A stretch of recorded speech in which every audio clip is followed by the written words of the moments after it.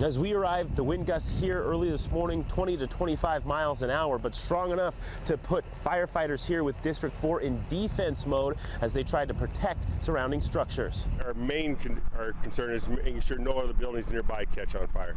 Captain Vincent Spizzali says when his firefighters first got here, the roof of the home was completely engulfed in flames.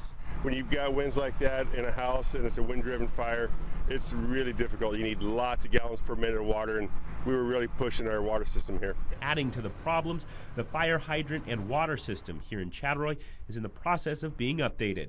Not totally completed yet, unfortunately. And again, with when we have four or five water tenders of 3,000 gallons each. The home is a complete loss. The couple living here made it out okay.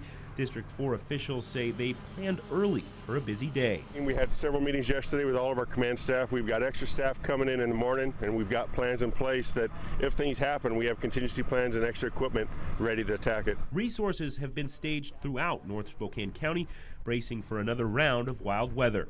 Reporting in Chattaroy, Casey Lund, KXLY 4 News.